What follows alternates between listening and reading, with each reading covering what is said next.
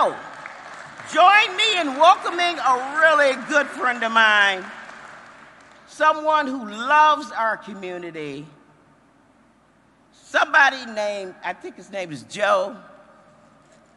Good old Joe, President Joe Biden, y'all. Well, I'm a little underwhelmed, aren't you all? I think I messed up. Y'all, please vote for me, okay?